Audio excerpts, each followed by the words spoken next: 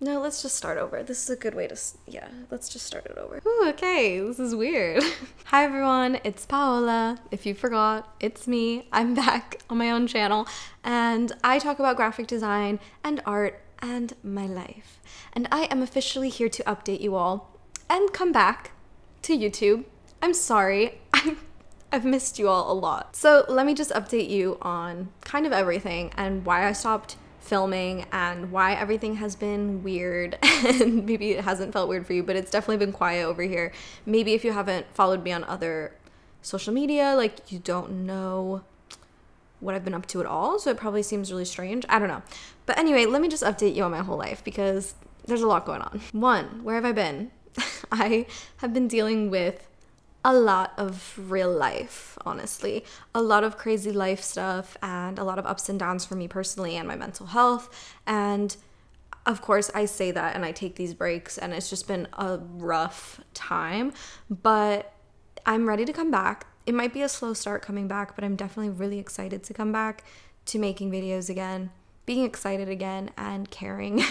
like, I've always cared, but like caring in a real way where I want to make like amazing content for you. So might be a slow transition back into it, but I'm here to update you all that I'm okay and I'm back.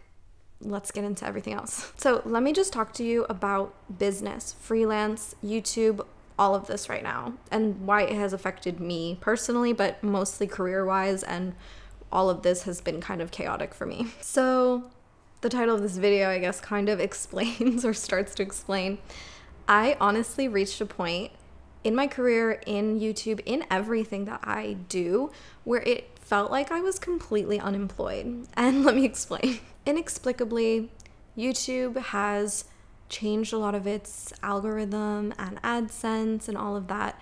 And I used to be making a reasonable amount, a reasonable living, you could say, that at least helped me month to month. And now it has reached a point with YouTube where I am making not even enough to afford groceries. and that has been really discouraging. Um, I used to be growing a lot on YouTube. I'm not so much anymore. And this is not the type of video where I'm going to complain about life. I really just want to update you on like how things kind of fell apart and then came back together. So, yeah, that's what's going on with YouTube. It, it has been a really big struggle, but I really appreciate you guys understanding me doing brand deals and stuff because obviously having an audience and having this platform, I still have amazing opportunities. And um, yeah, it's just, it's a lot of like hard things, but then good things that obviously come along with it. So yeah, YouTube itself not doing much for me. But it is my passion and I love it. And now I feel like I can just regroup and refocus on making YouTube videos for the fun of it and for you guys and really just caring and doing all of that because I love it and not because I'm like relying on the money. I have now found other ways to make money, but we'll get into that in a second.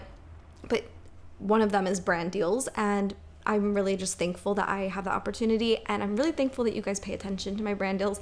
As you guys know, I work with like Adobe all the time, which is a dream come true.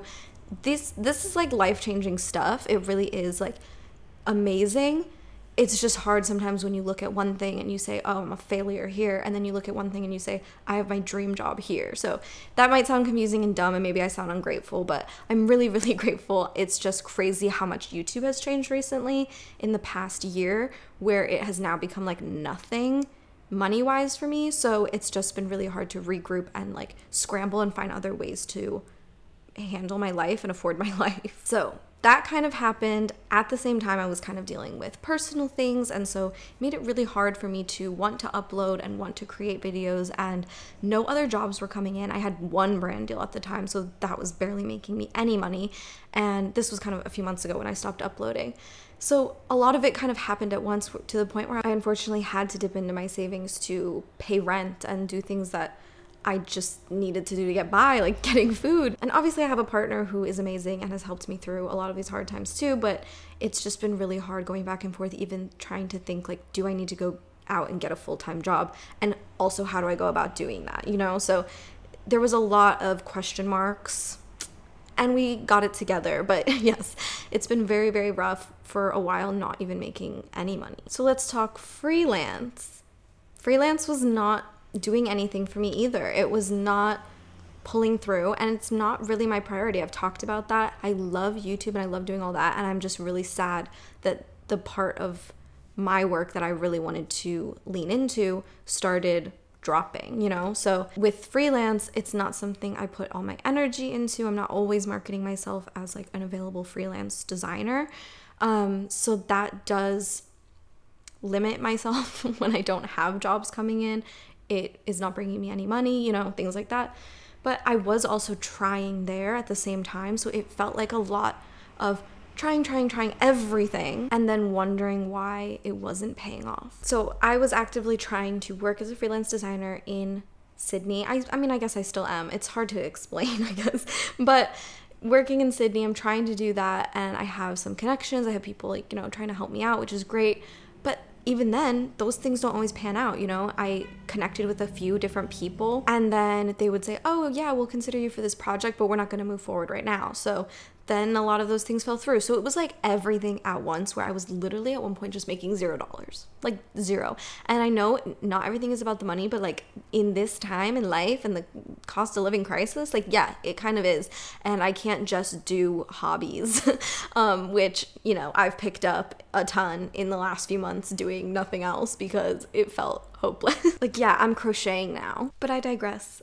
Anyway, it was a lot freelance work has been a lot. I did one a one day freelance job for a brand um, a few months ago, and even that just overwhelmed me.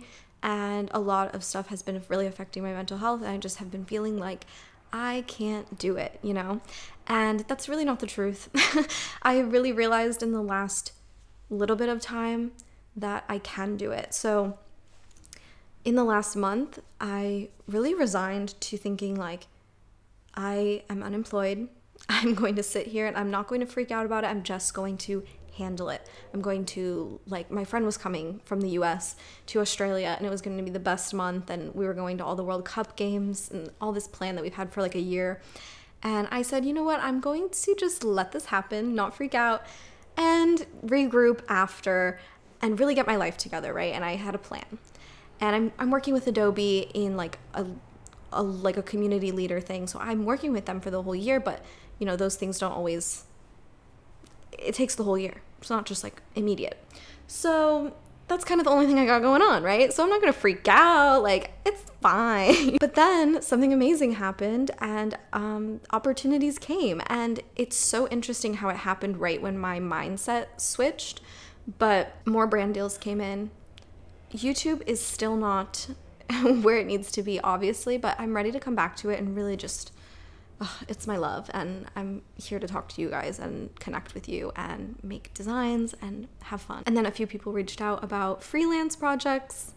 That kind of came through. So a lot of things have happened where now I'm back on track. Like I'm no longer unemployed. And it really made me realize that I can do it. I can handle the hard things. I can handle the low times, and I'm ready to just do it and do it well. do what I do and do it well. Um, no more imposter syndrome, no more thinking that I don't deserve this job, and no more doubting my design abilities. I'm so happy to be working with brands right now, and hopefully, you guys enjoy the content I've been posting. I mean, it's still design related, obviously. It's just like with Adobe attached to it, which is obviously a dream come true. Like, Adobe is what I'm using anyway. So that also brings me to my last thing I wanted to update you on. I have decided to shut down my Patreon. So, yeah, it was all a lot. It was all a lot of feeling like I didn't have it together, but I'm finding it. I'm figuring out how to get it together. And I think, you know, things like networking and all of those things, like, they don't have to happen in such a static way.